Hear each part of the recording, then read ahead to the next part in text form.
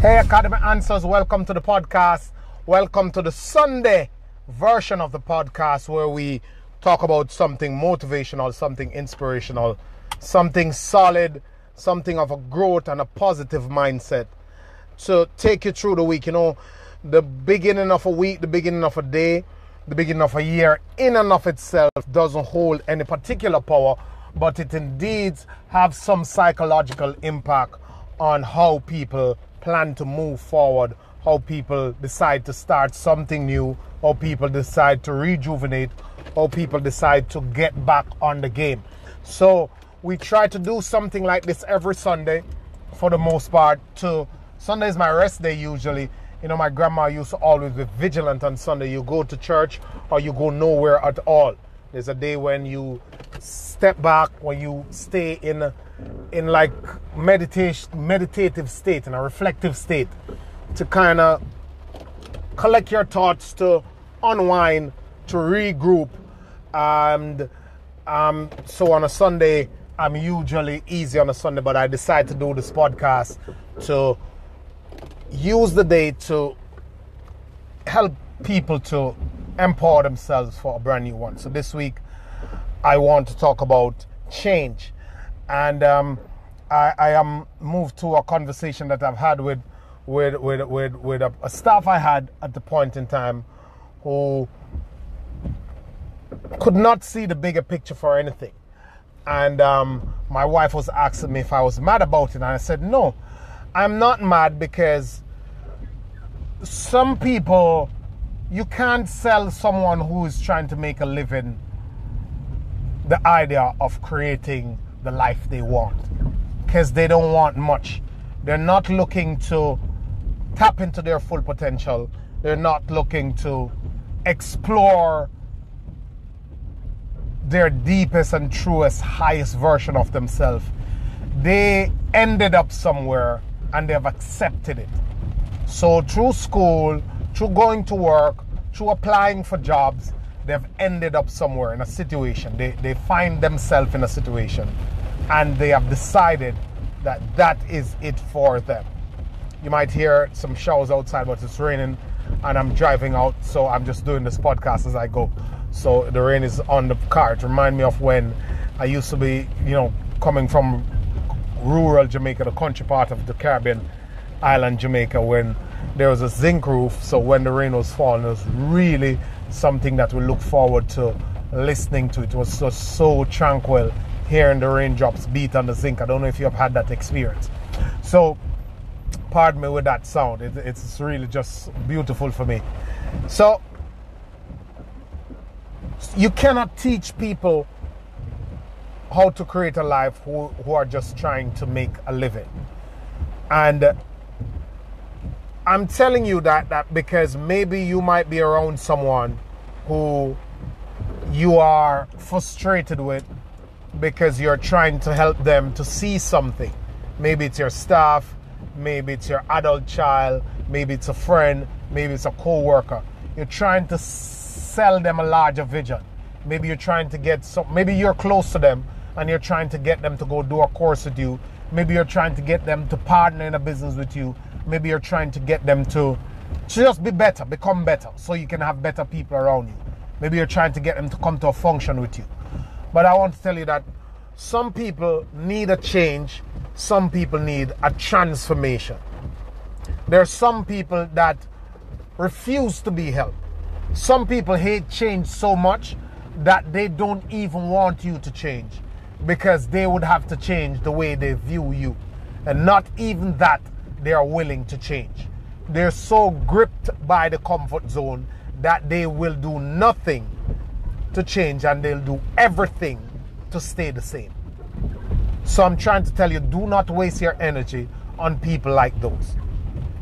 That's the first part. Do not waste, waste your energy on people who really and truly don't want much. There's a bunch of people out here who really do not want more than they have currently. They're living the vulnerable cycle. I call it the vulnerable cycle because there's a lot of people who manage to maneuver and keep it on a decent enough level with a lot of stress and heartache and restrictions. but they manage to keep food on the table. They manage to keep roof over their heads, but they're dying in silence. They're dying a slow death inside because their conscience is eating at them. them. There's something, the spirit, the soul is inside of them telling them that there is more. And because of that, their stress and their anxiety and their depression is so deep rooted that they themselves don't even know what's going on. They think it's a job. They think it's because their child is turning becoming a bum. They think it's because their parents or their in-laws or their partners are doing this and that. And it is a scapegoat for a really deeper problem that they're having in terms of living a life that is congruent with the spirit, with the potential that they have. So they're faked out on what is causing them all this misery. You have to know these people and you have to separate yourself from them. You have to know that X, Y, and Z, Tom, Dick, or Harry are okay. They made this make this amount of money. They have this, they're doing this, they're they're they're able to maneuver their way financially on a couple of credit cards and a couple of salary and a couple of overtime, and they're good. They're not willing to push the envelope. They think they're too old to learn. They think they they left school a long time ago. They think only the rich can do this. Uh, they think the privileged get to do this. They think that the companies and jobs are abusive and it's taking advantage of them. And everything they see is outward. They're trying to blame and point the finger outward so they can let themselves off the hook. You now have to understand that no one is coming, as like Obama liked to say. No one is coming. You are the change that you are waiting for. Unless you can get a hold of what is it that you need to do to fix your life to move your life forward unless you can understand that all the external factors were there, are there, and will be there for a long time. But you now have to develop the skills and the mindset and the discipline and the work ethic and the, the intelligence to work your way through these things then nothing will change. So understand that when the rain falls, it doesn't fall on one man house, house. It falls on everybody top. Everybody have a problem. Everybody have issues. Everybody have situations. You have to understand that the way you position yourself, the things you do with your time and money, and the outlook and belief system that guide you is what will make the difference in your life, not the external factors.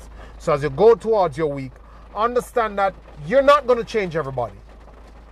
And whatever change you want for you is buried within personal responsibility.